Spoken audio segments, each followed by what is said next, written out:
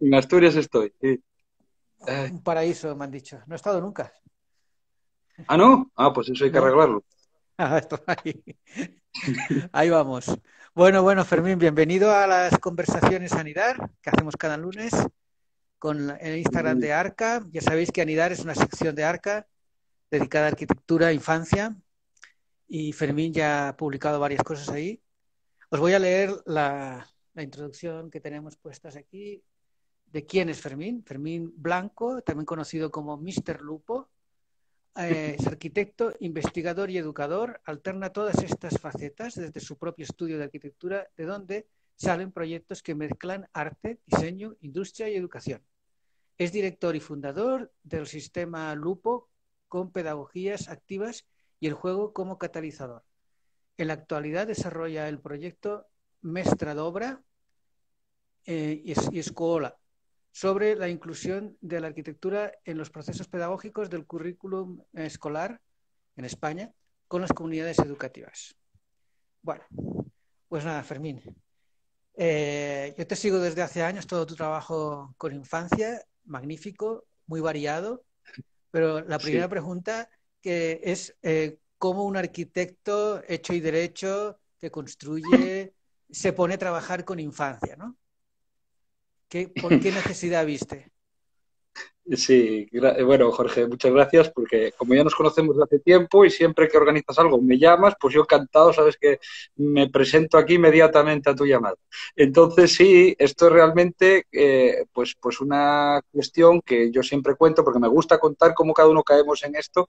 Eh, yo vengo desde el mundo de la investigación en este caso, entonces yo estaba haciendo hace ya 10 años ya, 10, 12 años, estaba haciendo mi tesis doctoral vinculada a, cosas que nada tenían que ver con la, con la infancia, que era la prefabricación, la industrialización, el obtener el mayor número de posibilidades a partir del menor número posible de piezas diferentes, que es en lo que se basa la prefabricación. Yo estaba trabajando con hormigón, pero me sentí seducido por uno de nuestros pioneros, una de nuestras figuras, que fue Miguel Fisac, y a medida que me fui adentrando en su investigación y su estudio, pues me sentí profundamente atraído por algo que, ya me ha dejado ahí marcado, que es el trabajo con equipos, con comunidades, con todos los mal llamados secundarios. Esas personas que ayudan en los equipos y que luego pues, pues sacan las cosas porque son los que gestionan las patentes, los que fabrican, los que producen. Me empecé a interesar muchísimo por los, por los procesos de construcción. Terminé siendo profesor de construcción en la universidad, pero el tema de la comunidad y el proceso pues no lo he abandonado y para poder solventarme económicamente los estudios y el tema de la investigación, que no tenía beca yo en ese momento, pues hice unas exposiciones que itineraban por todo el territorio y eso me ayudaba a mí, que es otra de las cuestiones que siempre me preocupan en, los proyectos, que es la, la, financiación, ¿no? Cómo financiarte tus investigaciones y tus cosas y tal. Yo en ese momento tenía una investigación, tenía una exposición y murió Fisac, el protagonista, digamos, del tema.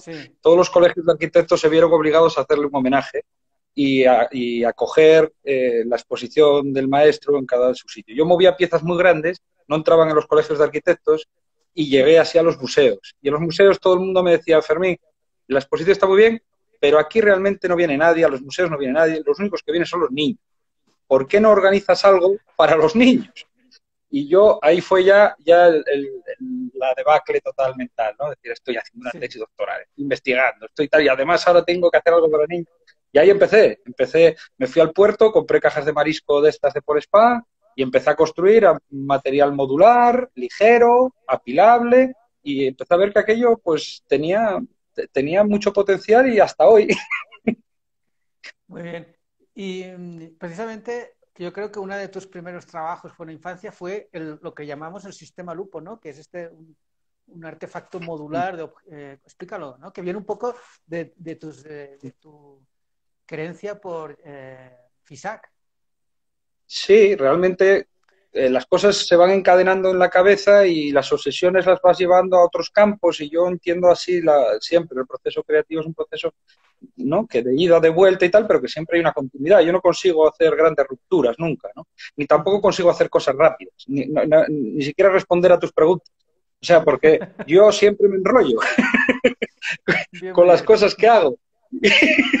Entonces, empiezo a pensar una cosa y una me lleva a otra, me lleva a otra, me lleva a otra. Entonces, claro, cuando estaba trabajando con algo tan propio de la construcción como es mm, la construcción industrializada, la prefabricación, el hacer algo en taller para luego llevarlo a obra, el, rentabilizar los procesos en, las grúas, en ta, ta, ta, yo empecé a pensar, dije, bueno, pues esto, eh, cuando me piden los museos que haga cosas con niños, yo la mejor manera que tengo de, interpretar y de explicar la arquitectura es construyendo.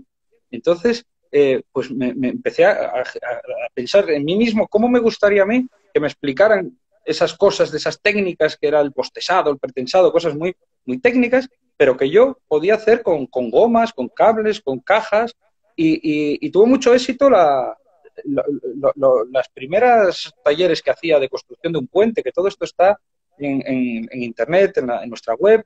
Eh, tenemos todo eso colgado, que es con pocos medios, gomas, botones de payaso, poner en carga. Entonces empecé a ver que la destrucción, eh, poner en carga, eh, las torres, ir en altura, pero luego empezar a contar las historias de la arquitectura, tanto contemporáneas como históricas, eh, que tenían mucho, mucho de transversal, mucho de, interés, y llegó un momento en el que abandoné esas cajas porque se me quedaban pequeñas y decidí pues hacer un set de piezas de geometrías eh, que me permitiesen el mayor número posible de combinaciones. Entonces, en siete geometrías básicas, pues se montó lo que en ese momento llamamos sistema lupo, eh, que es un sistema de construcción mm, en el que tú pues, bueno, vas alterando las piezas y puedes construir desde construcciones góticas, historicistas, arquitectura vernácula, contemporánea, pero donde lo importante no es lo que haces, sino cómo lo haces. Eh, y como además lo hicimos en gran formato, pues entró lo cooperativo de manera natural, eh, todos teníamos que trabajar,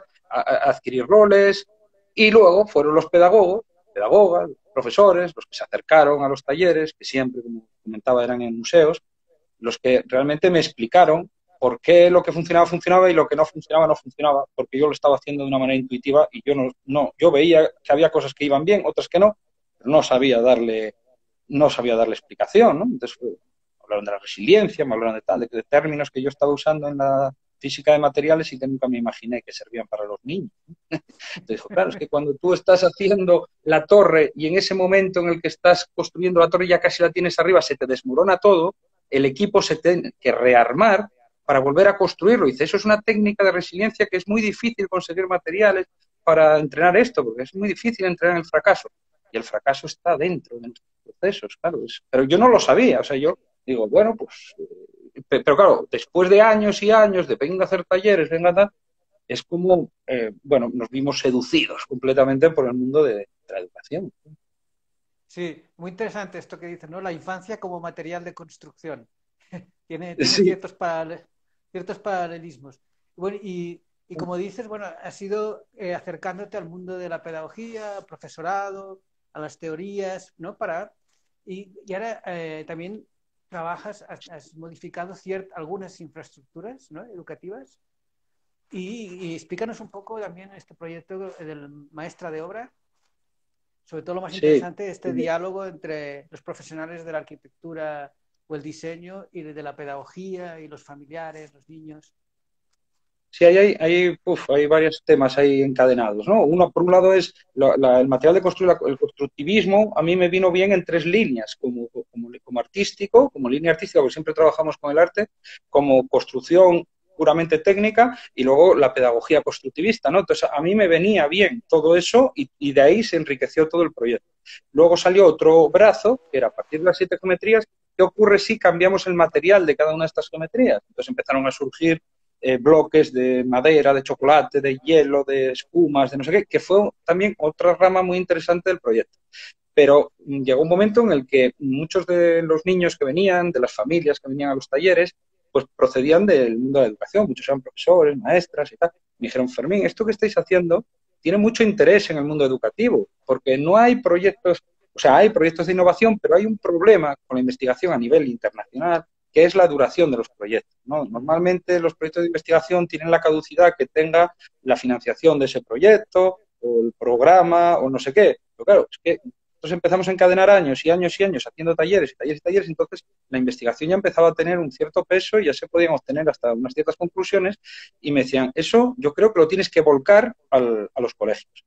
Y lo volcamos al principio como, como siempre mal, o sea, de una manera intuitiva, entramos a través de, los, de las extraescolares, que es el método este en España, sobre todo, que utilizamos mucho para después fuera del aula. Pero eso, eso es horrible, eso no funcionaba, desvirtuaba el proyecto. El mismo proyecto era otra cosa completamente distinta.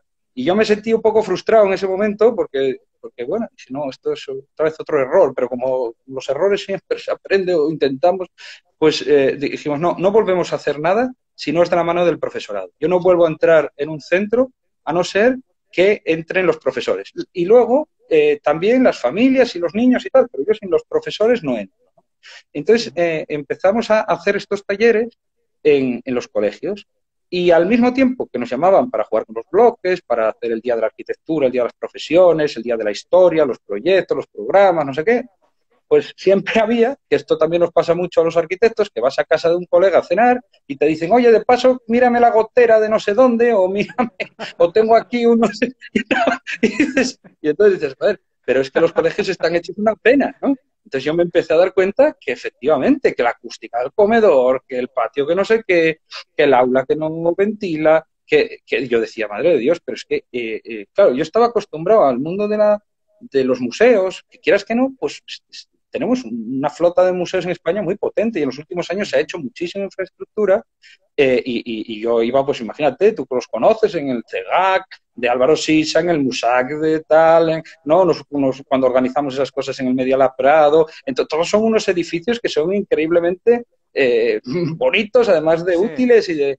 Y, y claro, y de estar en esos ambientes, a meterte en un colegio de primaria de Costa de Morte, pues claro, te quieres morir, te quieres morir porque eh, eso es, eso es, es terrible, es como que cambias de país, es, no, no, y es la realidad, es la realidad con la que están trabajando, con la que están allí los niños constantemente, y yo decía, madre, esto está, esto está mucho peor que yo me imaginaba. Entonces, eh, fue un momento en el que dije, el proyecto tiene que enriquecerse con un programa en el que seáis capaces de, de transformar esta realidad de la que vivís que ya lo estábamos haciendo de una manera urbana a través de nuestros proyectos en los museos, ya teníamos algún proyecto como el proyecto Irón, en el que estábamos diseñando un parque con los niños, que por cierto acabamos de conseguir ahora la licencia de patrimonio y podremos hacerlo, eh, pero esas cosas que ya estábamos haciendo, porque yo lo que me di cuenta con el programa de los museos es que habíamos creado una comunidad con los asiduos, ¿no? Después de tantos años, siempre con los mismos niños, siete años todos los sábados, de octubre a diciembre, de octubre a junio, tres trimestres de diez sábados, ta, ta, ta, al final sí. el mismo niño que vuelve, que vuelve, que vuelve, y el padre, y la madre, y no sé qué. Entonces habíamos generado una comunidad que cuando queríamos hacer un taller ya se nos apuntaba. Entonces ya éramos un auténtico ejército. Yo decía, pero si aquí tenemos periodistas, tenemos artistas, tenemos un fotógrafo, tenemos un payaso, tenemos un, un una directora de una fábrica de madera. Eh, entonces, de repente nos poníamos todos en común y, bueno, la comunidad, una comunidad educativa, una comunidad de conocimiento en el que nos unían unos intereses comunes, un interés por la educación de los niños, y dijimos, pues vamos a plantear proyectos. Y me llevé esa misma filosofía a los colegios, bajo el título de maestra de obra, que es maestra de obra, que es convertir, de alguna manera, no es así, pero bueno, sería como convertir a la maestra en una diseñadora, una arquitecta de espacios pedagógicos para que se generen comunidades eh, o se armen comunidades, porque algunas están más deshechas, menos deshechas, unas, bueno, cada comunidad educativa pues tiene sus historias, ¿no? Entonces ahí se meten a las familias, a los niños y a los profes, se diseña un plan de actuación y, y el objetivo es tanto a medio como a corto como a largo plazo, pues ir haciendo pequeños pasitos que redunden en un cambio en, el, en, el, en su ámbito, en su ambiente educativo. Eh, y, y, así empezamos a cambiar coles y coles y coles por Galicia, eh, todos coles mmm, públicos. Eh, hasta que llegó un momento que ya, pues bueno, sí, pusimos ya ante la Consellería de Educación, decir, oye, no, yo no te puedo estar cambiando aquí colegios públicos así, necesitamos un, un, cierto respaldo, porque, porque ya era un, una cosa que... Entonces se, se, propuso como proyecto de innovación docente este programa que que se resume en eso, en, crear una serie de comunidades educativas que terminen por hacer, convertir la transformación del edificio en un proyecto educativo. A, un año, dos años, a tres años, yo siempre digo que no hay, no hay transformaciones en un año, express, eso no existe, y tampoco se terminan nunca, porque una transformación es eterna, nunca, siempre vas a necesitar eh, cambiar algo, y si no lo necesitas tienes que mejorar lo que había, o si no tienes que hacer mantenimiento. Entonces, nunca, es un proceso que nunca termina. Y bueno, explícanos un poquito más esto.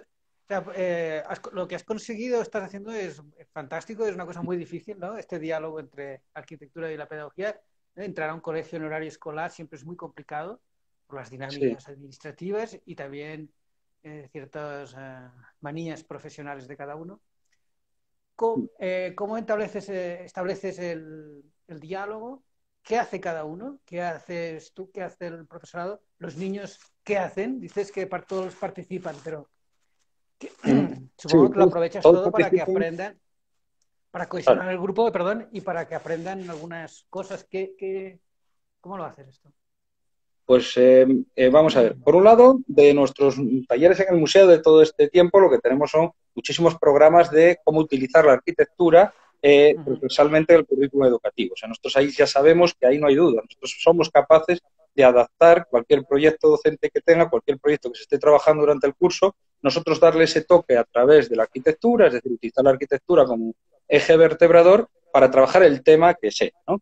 Por otro lado, y con los niños traemos nuestros materiales o con otros materiales, da igual, pero el caso es que vamos a utilizar la arquitectura como material pedagógico ahí eh, dentro del programa educativo.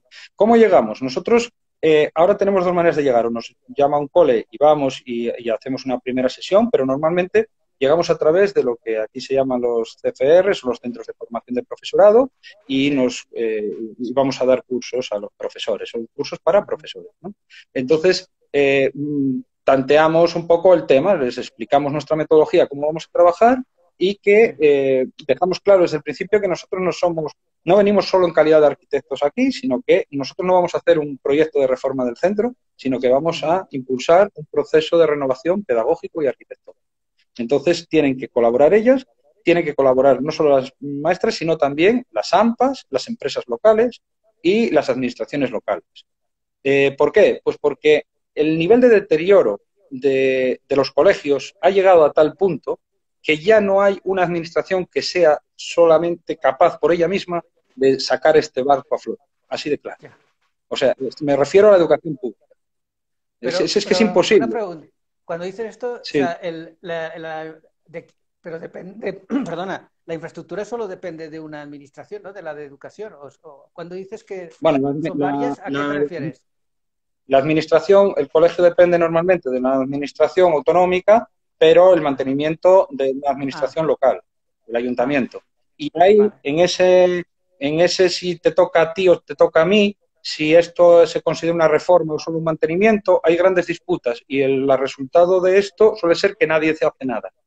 ¿eh? Y, y, luego el mantenimiento, el hecho de que el ayuntamiento, que suele tener menos recursos, pero tiene, está más próximo a la comunidad, porque al final el alcalde o la alcaldesa es el que está ahí con, la, con las familias y tal, es el que la, administración próxima, la que da la cara, eh, se siente la obligación de mantener. Y eso tiene un problema, y es que casi todas las obras que se han hecho tienen que ver con un bajo mantenimiento.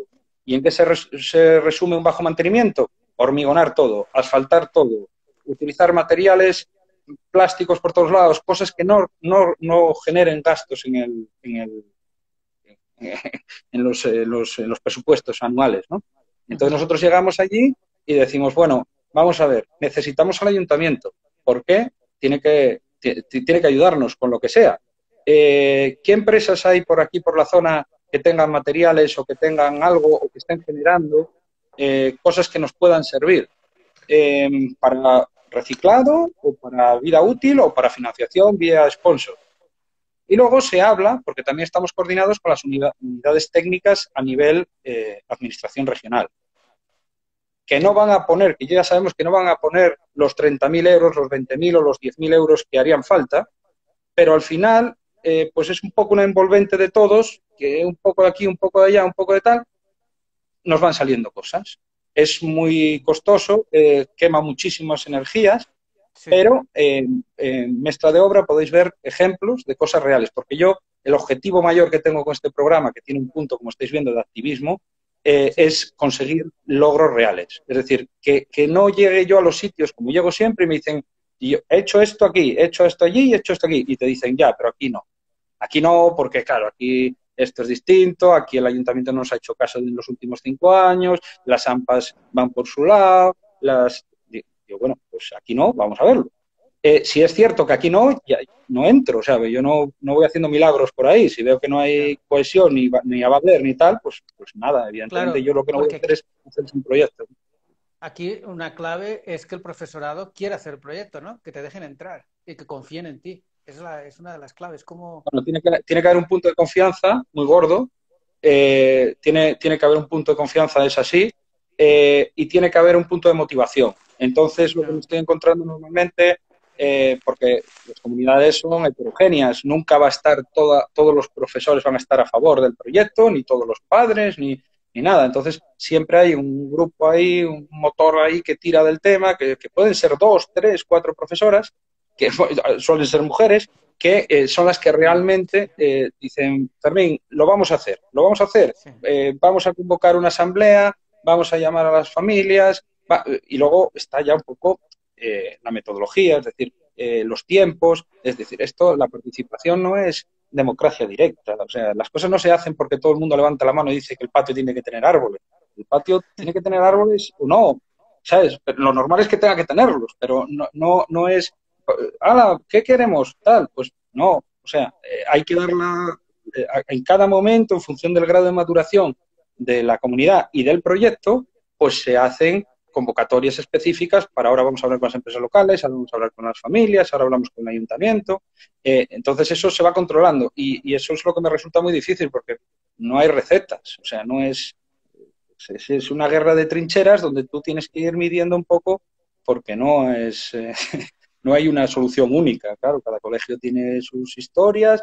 Eh, ejemplos, pues nosotros, uno de los que está por ahí más publicado, que fue el famoso patio ese que picamos cerca de mil metros cuadrados y hicimos esas topografías lúdicas y metimos dentro esos containers de reciclaje, pues eso lo hicimos porque en ese pueblo concreto es donde se producen esos, está la fábrica que hace esos containers.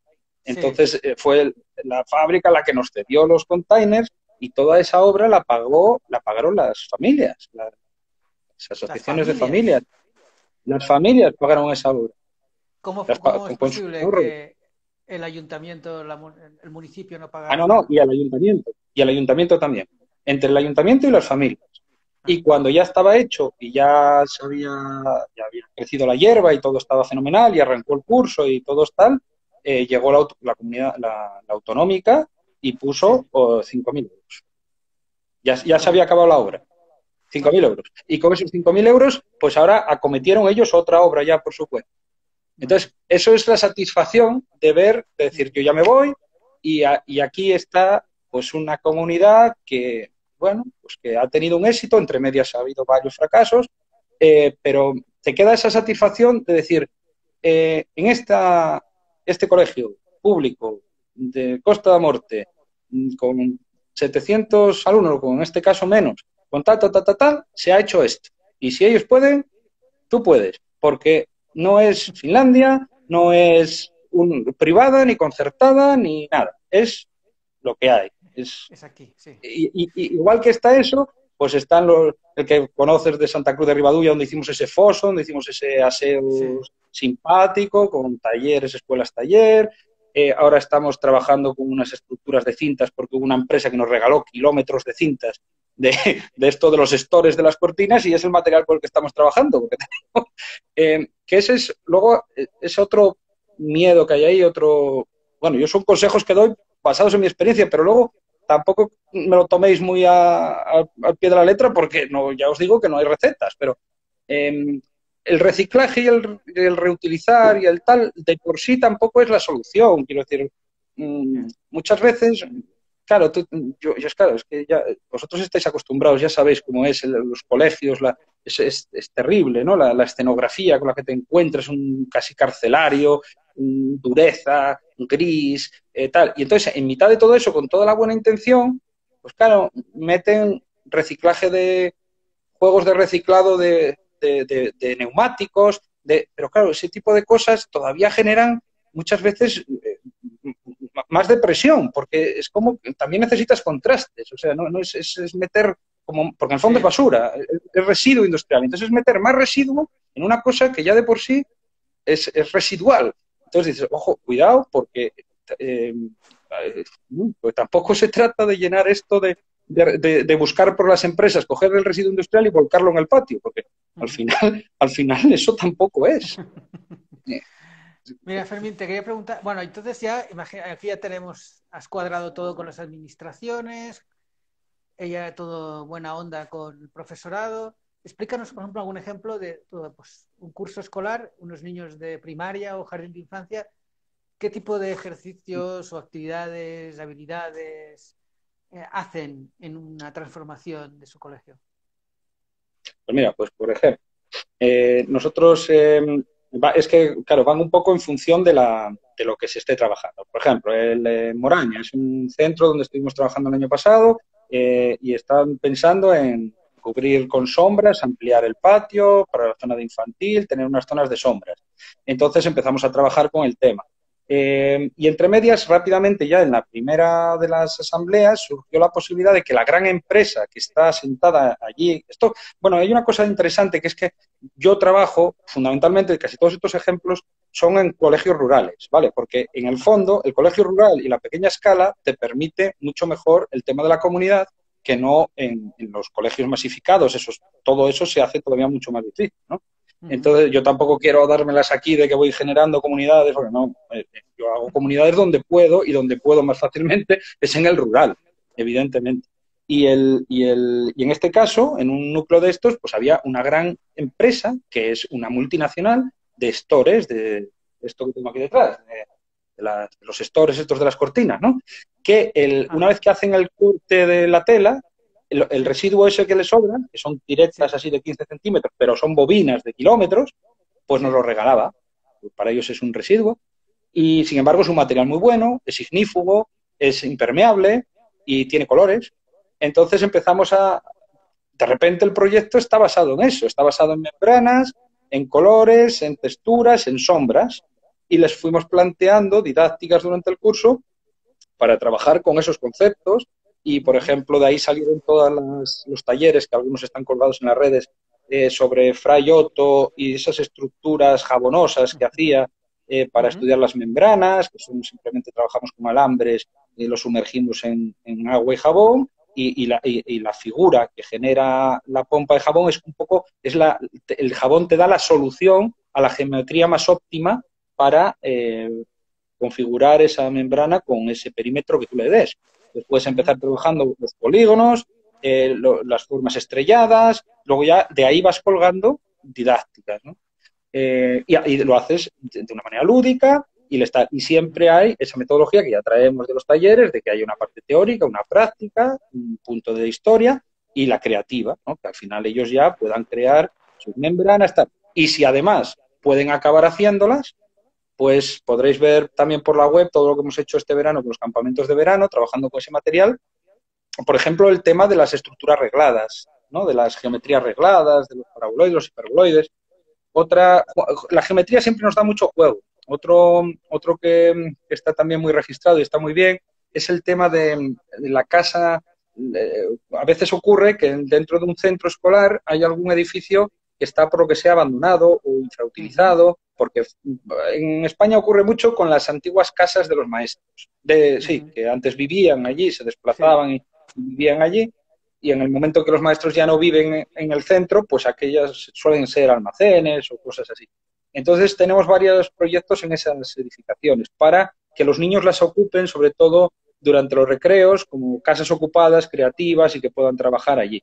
Nosotros ahí utilizamos la técnica, siempre que podemos meter el arte también entre medias, lo introducimos. Y ahí está pues, la idea de Mata Clark y cómo él trabajaba con casas que iban a ser demolidas eh, como si fuese una maqueta. Y, todas esas estructuras que él hacía y esos vaciados del cono dentro de, pues, todas las intervenciones que hizo antes de la construcción del Pompidou y todo esto, pues lo aplicamos directamente allí en aquella casa. Entonces era un único volumen que tenía dos partes simétricas para el maestro y para la maestra. El muro central era un muro de carga bueno, divisorio, y hicimos, sin salir fuera del volumen, hicimos ese juego de qué ocurre con el volumen del cono, si, hacemos un vaciado de un cono dentro de ese volumen, y ahí aparecen todas las cónicas, ¿no? Entonces ahí estuvimos trabajando cómo hacer por el método del jardinero la elipse, cómo hacer la parábola, hipérbola, y, y luego lo hicimos. Y ellos marcaron, los niños marcaron la hipérbole, to,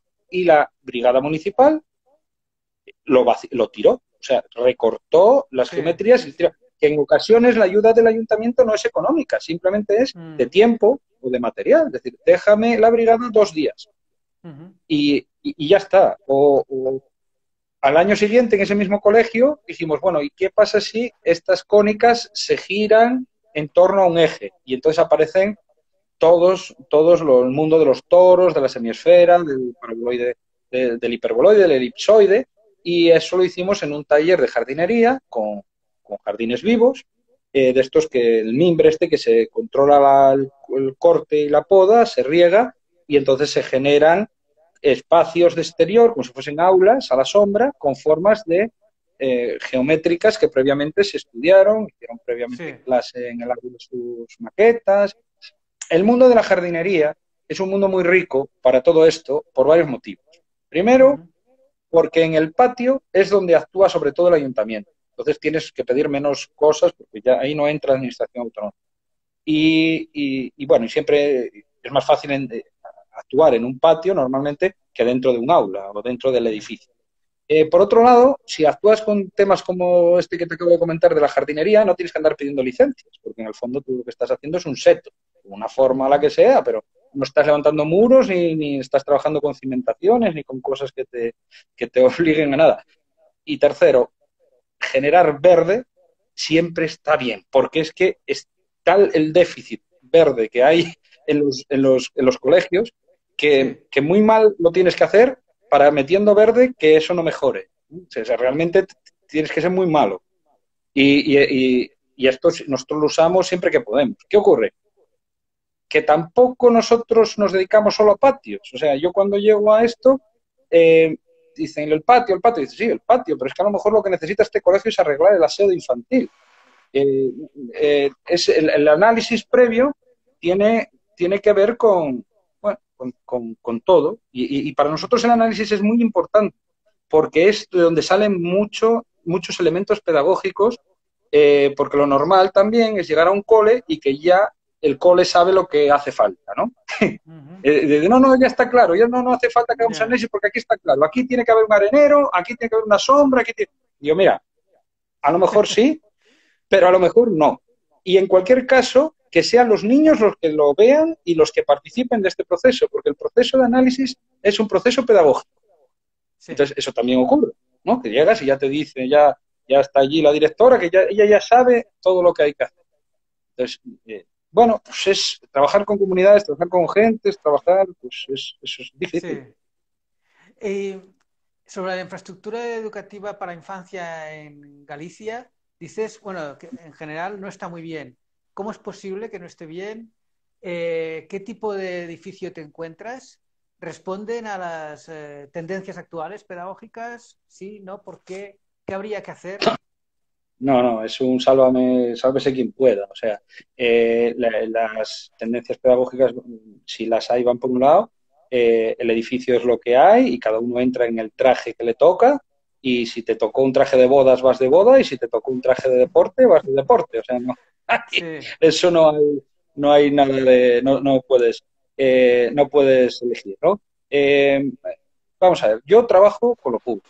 Y lo público, eh, bueno, España está dividida en autonomías y toda la educación está transferida completamente. Desde el año 2000 ya toda, toda la educación está transferida a cada comunidad. cuando llegó la democracia, sí, el último gran, la última gran apuesta por, por la construcción de, las grandes infraestructuras rápidamente en cada comunidad para completar lo que ya había y en los años 80, cuando se dieron cuenta que ya no podían eh, asumir, mm, seguir mejorando y seguir invirtiendo en educación, se inventó lo que se llama la concertada. Es, una especie de mixto, son unos convenios con lo privado eh, fundamental, bueno, con un porcentaje alto de educación religiosa, de órdenes religiosas, no todas, pero que pagadas por el Estado complementan lo que a, lo que consideraron que no iban a llegar ya con la educación pública. Eso tiene que ver no solo con instalaciones, tiene que ver con profesorado y con todo tipo de recursos. A partir de ahí, eh, lo que se ha hecho pues va variando, evidentemente, con, los periodos económicos, pero la educación eh, pues ha ido reduciendo sus, sus, inversiones, ¿no? ha ido ampliando a lo mejor, pero no en, los niveles que, se requerían. Y a día de hoy lo que tenemos es, en el tema de la educación pública en general, pues un cierto déficit, que nadie te lo va a decir, pero que es así, en el público. Eh, y en el ¿Déficit de calidad o de cantidad? De inversión, de inversión, de apuesta por, inversión en general, de apuesta por todo, a todos los niveles. Mm. Eh, y, y, en el caso de los, de los edificios, pues ha habido una cierta deriva, una cierta deriva. Eh, entonces, claro, pasados 40 años, eh, tenemos eh, muchísimos colegios, el colegio medio español, en términos generales, está público, está, está muy mal, se le han ido haciendo apaños, el, gimnasio se ha convertido en comedor cuando se dio la necesidad de, de que los niños tenían que comer, el patio se ha cubierto como se ha podido por la lluvia, la accesibilidad se han ido metiendo unos ascensores y unas rampas como se han podido por un lado por otro, y ahora eh, tienen un problema energético muy gordo porque, porque pierden energéticamente por todos los lados, al mismo tiempo también es cierto que hay una, bajada poblacional. Eh, entonces, eh, ahora mismo las administraciones, cualquiera, se encuentran con un problema muy gordo, pero muy gordo que no saben ni por dónde meterle mano. ¿Y, por dónde se empieza? Pues, pues, pues primero en no perder todo el presupuesto del año en calefacción. Eh, y para eso lo que se hacen son planes energéticos de mejora de la envolvente, que eso ya ves tú que estamos años luz de poder hablar de pedagogía. O sea, vamos a hablar primero de lo primero, que cuando se calienta, cuando se calienta el radiador, aquello calienta. Y cuando está, ¿no? O sea, vamos a hablar ya de habitabilidad pero en, edificios. Y es cierto, se están invirtiendo. Entonces tú hablas con cualquier eh, político que te, y te va a presentar unos números y, te va a decir que efectivamente se está invirtiendo, pero no da, no da, no da. Y, al final eh, y al final lo que te encuentras es bastante, bastante deprimente. Las, los grandes proyectos que puedas encontrarte, casi todos tienen que ver con la, con la educación privada y concertada, y, la, pública pues está, esquelética. ¿no? Imagínate que te ah. hicieran ahora a ti el, responsable de educación en Galicia de la infraestructura, que, pudieras, que pudieras mejorar la infraestructura pública gallega. ¿Qué pasos hay que dar? Aparte de más inversión, ¿qué, qué, cambios? ¿Cómo, ¿Qué harías?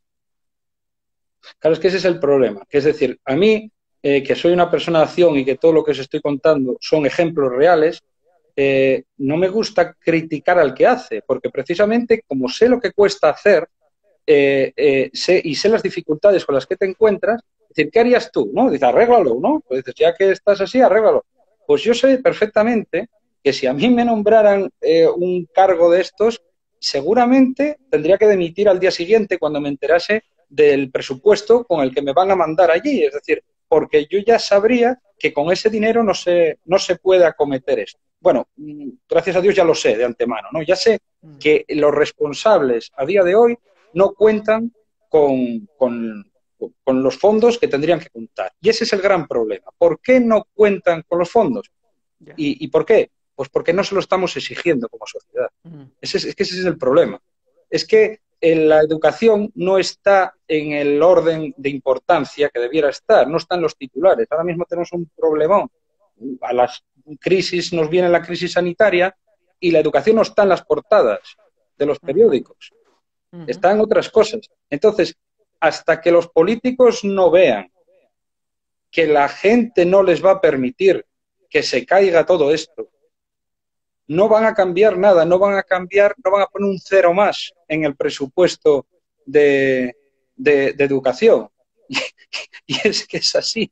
Entonces ahora tú te nombran responsable de lo que sea y, da igual, ¿eh? también podría hablar de la medicina, pero bueno, vamos, estamos hablando de educación pública y al final lo que te vas a encontrar es eh, una precariedad, un nivel muy bajo de déficit de instalaciones y entonces tú dices, bueno, ¿y qué hago? ¿Dimito? o si quiero hacer algo, ¿qué hago? Bueno, pues yo lo que haría sería armarme de un, de un ejército de, de este perfil que estamos creando, al que tú estás colaborando tantísimo, que es el perfil de arquitecto educador, es decir, armarnos con un ejército de perfiles de, esta, de, esta, de, estas características que sean capaces de establecer estos diálogos entre la educación y la arquitectura.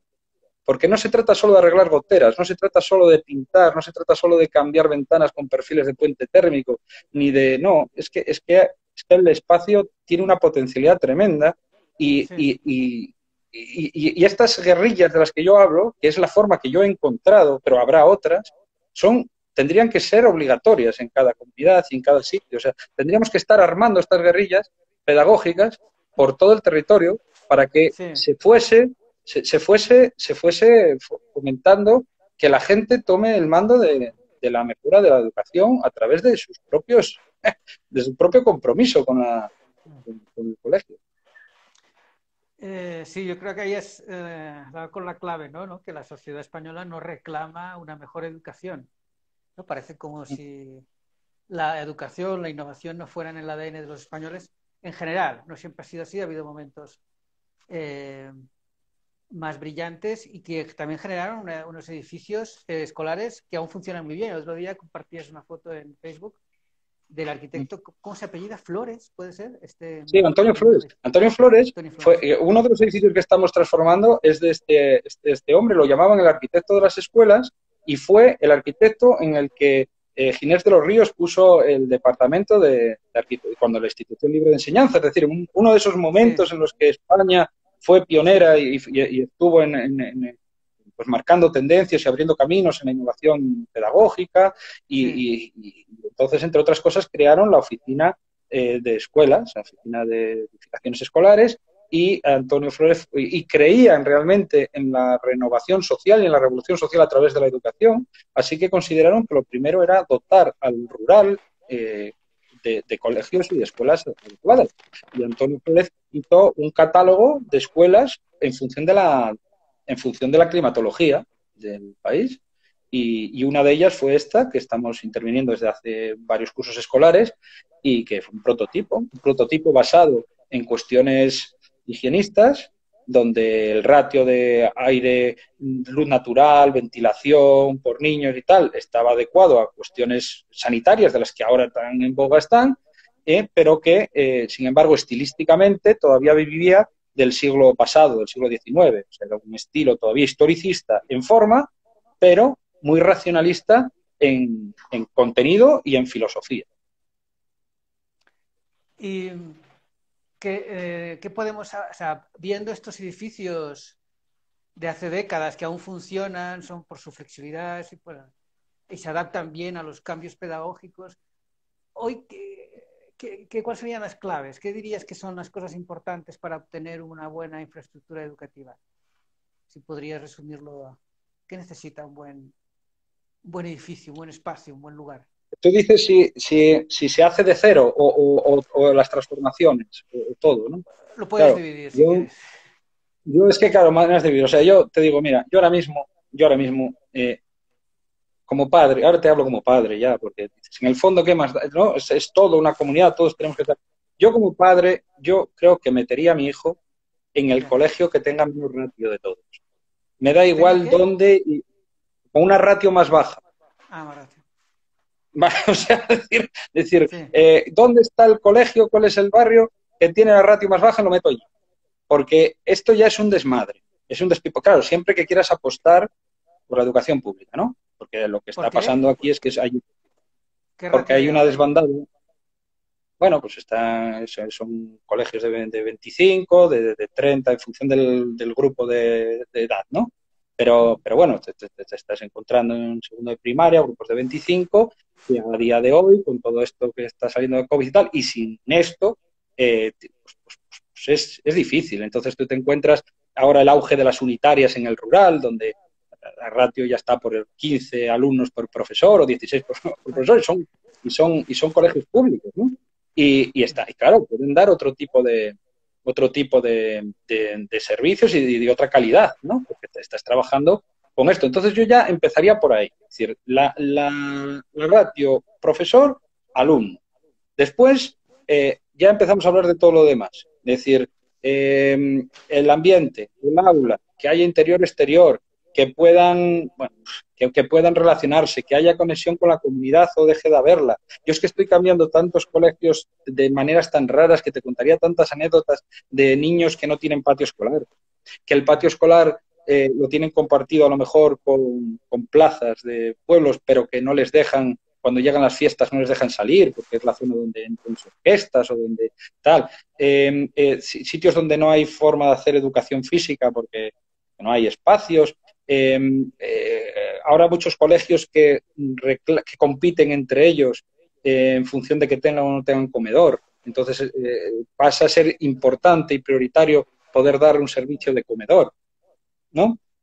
Los, las, las, aulas, pues ahora estamos con el tema de, pues, pues, pues con el tema de, de las de, la disciplina esta, ¿no? De cómo nos dicen los protocolos de COVID que tenemos que colocar las mesas separadas, que es un metro, que es un metro y medio, todas mirando al profesor, todas tal. Claro, eh, hay como una regenera como una vuelta atrás a todas esas cosas que ya creíamos superadas. Es cierto, es cierto que se establece como una cuestión eh, eh, temporal y de emergencia, ¿no?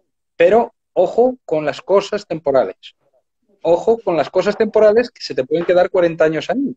¿eh? Porque la, claro, el tema es eso, el tema es decir, si tú todas estas cosas que ves y que sufres, ya lo tomas como que va a ser temporal y que hay que pasar esto como se pueda, es una emergencia y todos tenemos que arrimar el hombro y todos tenemos que salir de esto, vale, pero cuando empezamos a tomar ya decisiones que se empiezan a alargar y que se empiezan a alargar y que generan dinámicas, eh, las dinámicas cuesta mucho crearlas y una vez que se crean cuesta mucho cambiarlas.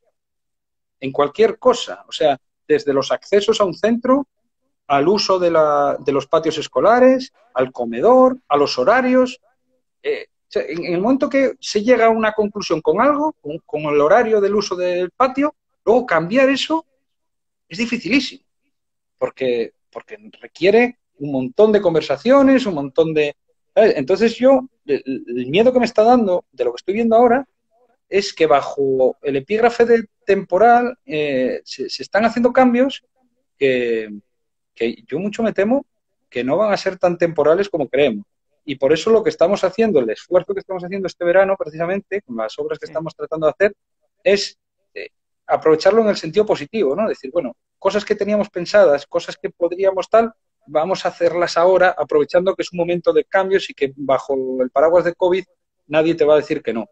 Porque a lo mejor, mm, a lo mejor ya no lo vas a poder hacer o vas a tardar mucho en poder hacerlo. Que es una manera diferente de tomarse, de tomarse esto. ¿no? Lo que está claro es que el momento actual es, es, terrible y, y, lo que nos viene eh, va en contra de todo lo que venimos predicando. O sea, eh, mezclar a los niños, eh, salir al patio, interior-exterior, eh, mezclarse.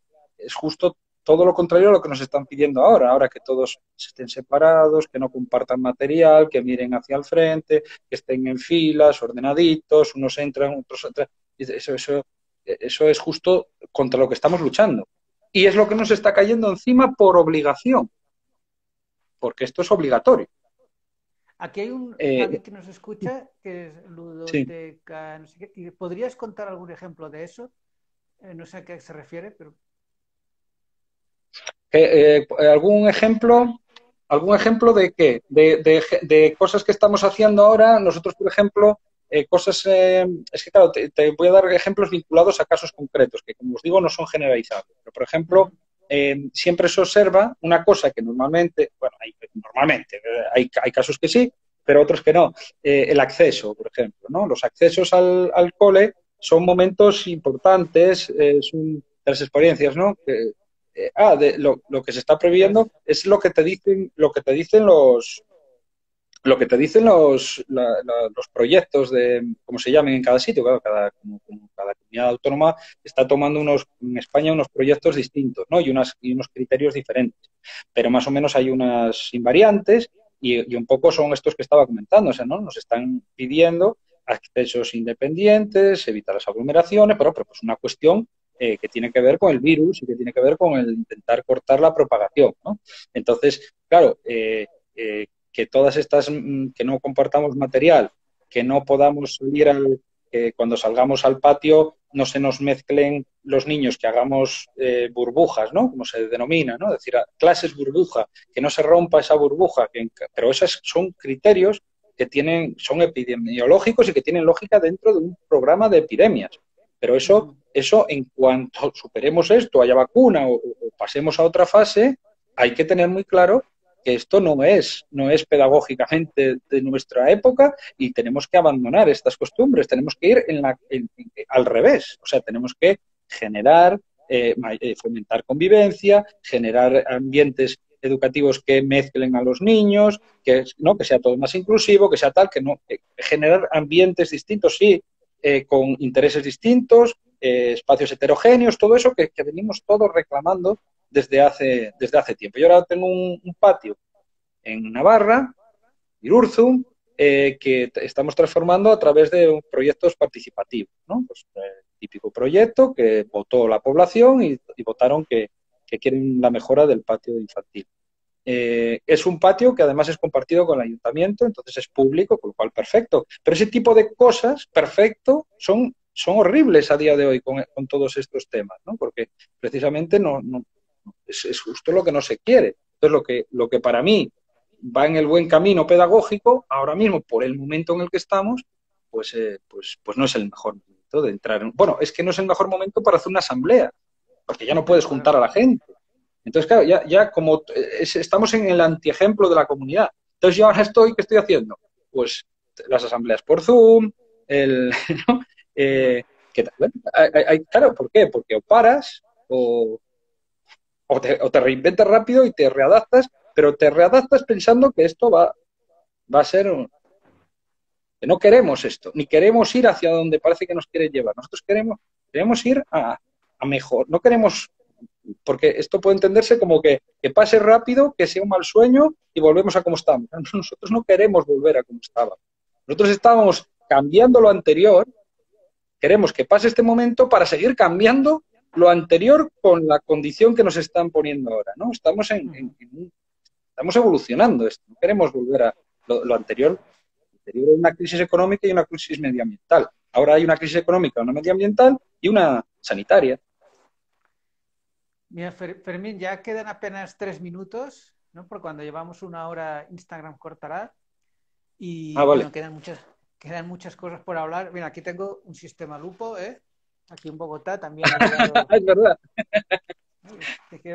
En mi caso lo tengo. En castaño. Fue un regalo tuyo en castaño, precioso. No saco las figuras porque luego me, me cuesta volver a, a ponerlas. y con las fichas estas que preparáis, ¿no? Con las diferentes posibilidades. Bueno. Eh, hay un bueno, queda por hablar que no hay tiempo, es todo tu trabajo en museos y centros de arte. Mm, lo dejaremos para otra conversación, ¿no? Y, vale, muy bien. Y todo lo que has hecho con infancia en la Fundación Seoane, en el Centro de Arte de Galicia, ¿cómo se llama? De, de Santiago, no me acuerdo cómo lo llaman. El CEGAC, sí. Y también, eh, bueno, del, por qué en España no hay un museo de arquitectura, si sería útil o no, para qué sirven, la relación entre museos y colegios, cómo mm. se retroalimenta. Bueno, todo eso queda en sí, sí. Yo os emplazo, la, pena es que no creo que pueda ser, eh, estoy trabajando a ver si me permiten que sea online. Nosotros ahora en septiembre, en la segunda y tercera semana de septiembre, vamos a organizar con la Universidad Menéndez Pelayo un curso que se llama Ciudades en Evolución, que tiene que ver con esto, que tiene que ver con la potencialidad de lo no reglado en la educación. Es decir, la, riqueza, porque todo esto que acabo de contar procede de eso, de la libertad de trabajar en museos, de trabajar fuera de la educación. Y ahora me tropiezo con el problema de lo reglado, pero eh, toda esta investigación parte de la riqueza de la educación no reglada. Y yo creo que ahí hay, hay, mucho, hay mucho tema, sí. El, curso este, que vamos a hacer este evento que es un curso, ¿se puede ver online? Es un curso de la universidad, sí, es un curso de la Universidad Menéndez Pelayo, eh, que va a contar, son 30 horas, 15 prácticas y 15 teóricas, tendremos a, a Saskia Sassen, a, Montañola, tendremos a, a este, a, Alfredo Yuelos, de, porque estamos en los 100 años de Malaguchi, que no he, que no he citado porque muchos veréis Malaguchi por todos los lados en todo esto que, toda esta experiencia nuestra, ¿no? Y, bueno, eh, eh, a ver si viene, si viene nuestra amiga Marta de Maxi. Eh, ahora que decías Marta Morelli, que decías el museo, ¿no? El museo que sí, que en Italia tienen, pero no tienen no tenemos aquí en España, ¿no? Bueno, son, eso, eso, es otro tema, ese que abres, hay un melón gordo ese que abres. pues hay que dar pendiente para una próxima conversación a anidar con Fermín Blanco. Bueno, ya Muy que bien. estamos ha pasado casi una hora, pues muchas, muchas gracias, felicidades por todo el trabajo. Te animamos a que continúes con este activismo que tú llamas y a mejorar sobre todo los colegios, la infraestructura y lo que pasa dentro, ¿no? Desde tus posibilidades de, de la arquitectura. Pues muy bien, Jorge, muchas gracias como siempre por invitarme a esto y nada, cualquier cosa que se haya quedado en el tintero, pues me enviáis un mail o a través de Jorge o enviáis a info.sistemalupo.com y yo pues intento, intento ayudaros con, mi experiencia. Muy bien, gracias. Saludos desde aquí, América Latina. Muy bien. Adiós.